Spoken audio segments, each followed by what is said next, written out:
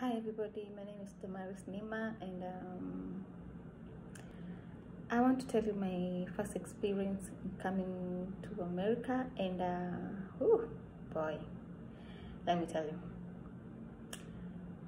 Um, first of all, the distance was too long.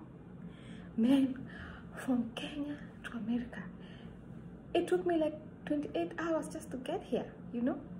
Yeah, and so I left uh, Kenya on the 30th, 28th May, and I arrived here on the 30th May. Actually, I, yeah, I arrived here on the 30th May. And the first thing I noticed is that hmm, people are actually really nice, like in at the airport, just at the airport, even before leaving the airport.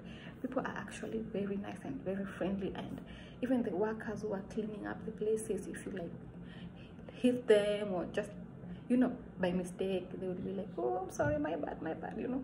People here say i'm sorry all the time and they, they excuse themselves all the time. And um, even the workers at the airport they are really professional and nice you know nice just something it's in them.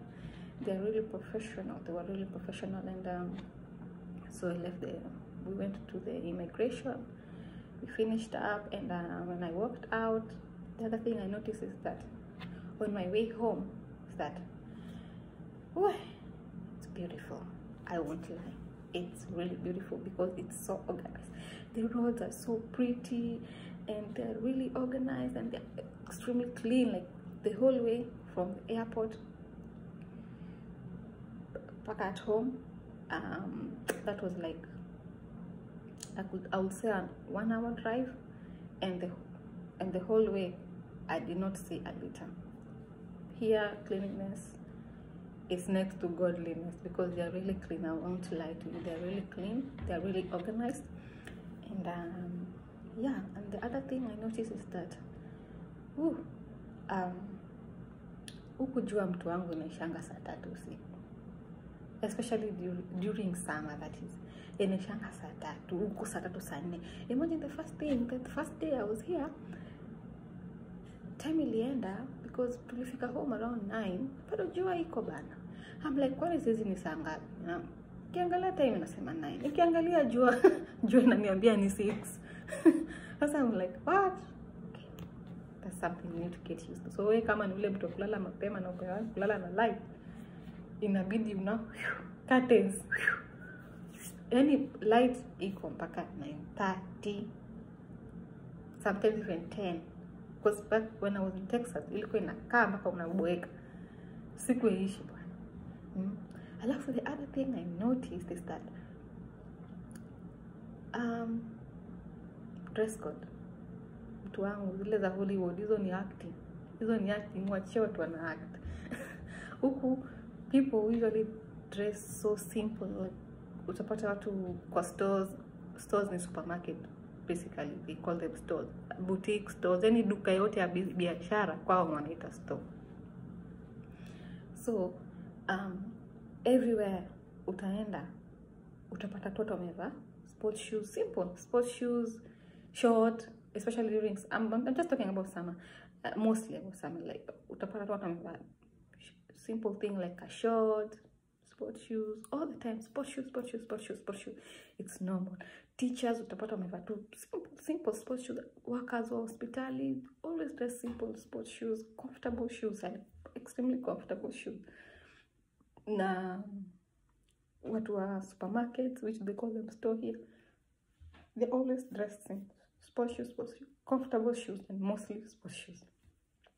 Alafu the other thing i noticed is that even dress code oi huku hata wananga kwanza wazungu sana na black america wazungu wazungu they dress so simple. Kishati tu kishort kitroza ki awananga hizo madoido madoido zenye mnaonanga kwa youtube. Hizo mnaonanga kwa internet kwa youtube instagram.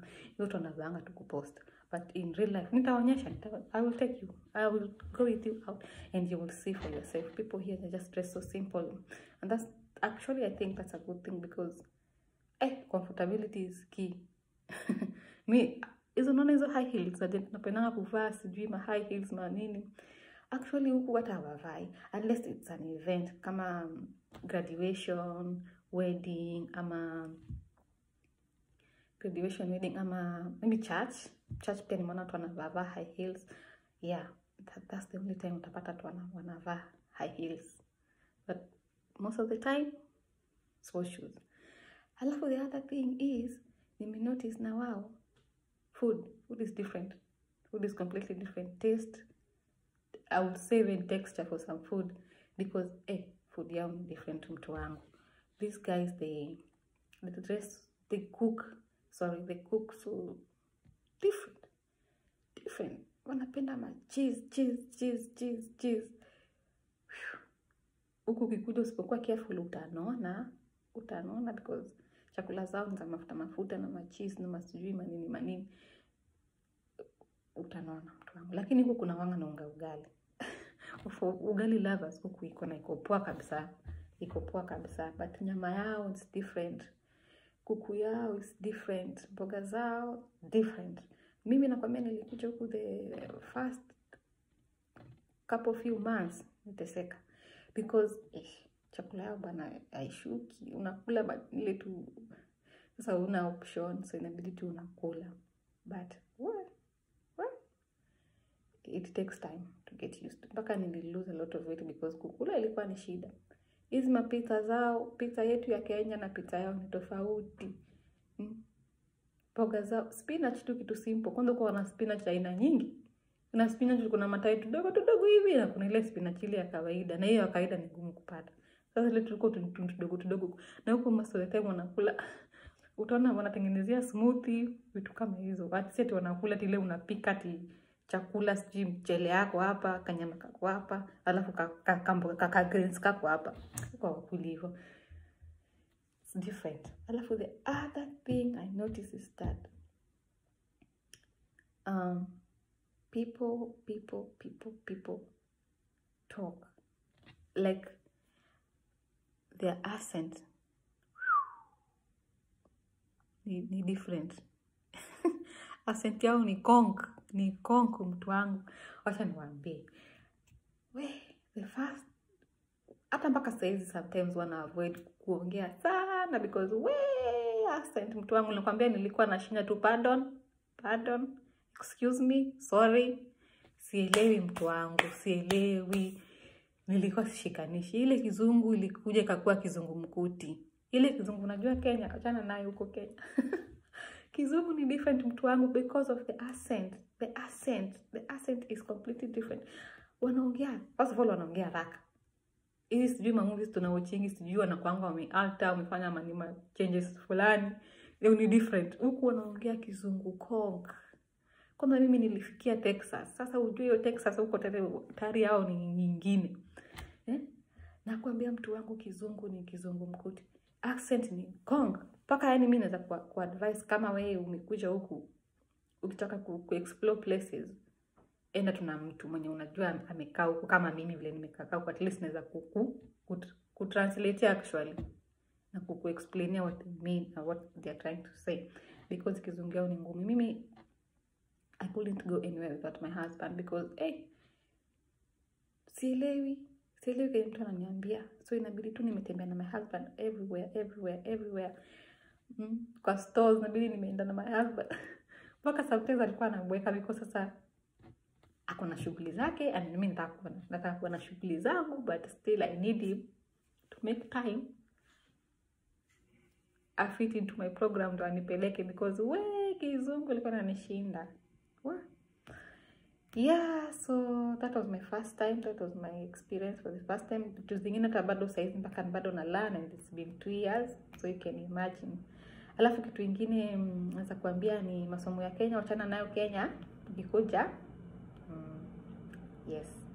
Masomo ya kenya na ya huku it's different but naweza kuambia the, the good thing is that huku masomo yao si kamili ya kenya ati unaambiwa vitu mob vitu mob na huku mpaka kuna choices mtu wangu. Na hata ukifanya exam pia unaweza enda na, na yani uko na access kama vitu kama phone au katizi vitu kama hizo unaona so masomo yako si si ngumu si ngumu naweza kuambia si ngumu. Yeah. Yeah.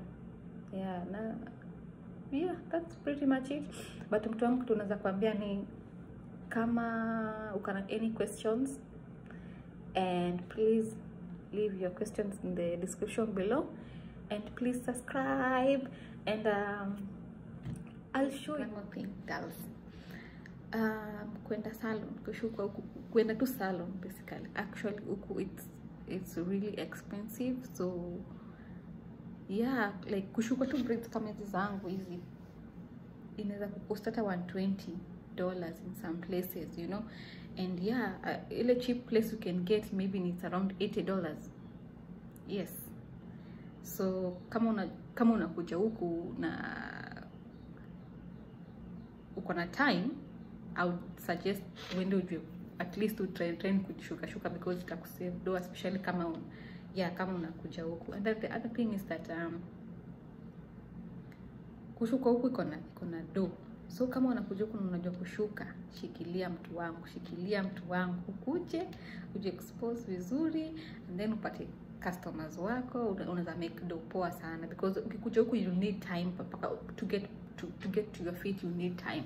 You need like 3 4 months because kuna itabidi umeenda driving itabidi yeah umeenda driving alafu papers zako zikuwe organized upate kama um, social security number ndio uanze kufanya uanze kufanya kazi and all that. So hiyo first three four months inaweza kusaidia kushuka kama beste neighbors nini nini.